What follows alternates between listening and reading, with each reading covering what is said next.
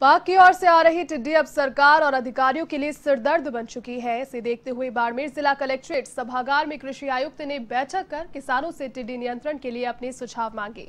गौरतलब है कि पिछले काफ़ी समय से डीटीओ के नियंत्रण के लिए किए जा रहे सारे प्रयास विफल होते नज़र आ रहे हैं। इसे देखते हुए ज़िले को अभी दो ड्रोन मिल पाए हैं ताकि स्प्रे कर टिड्डी को नियंत्रित किया जा सके। कृषि आयुक्त ने इस पर बताया कि प्रदेश में जल्द 25 से 30 ड्रोन मिलेंगे। इसी के साथ हेलीकॉप्टर से हवाई स्प्रे के लिए राज्य सरकार और केंद्र के बीच में वार्ता फ़िलहाल चल रही है।